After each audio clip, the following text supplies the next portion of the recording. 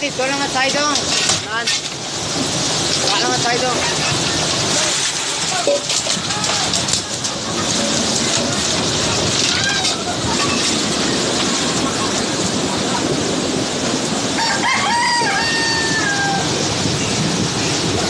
Wasak na.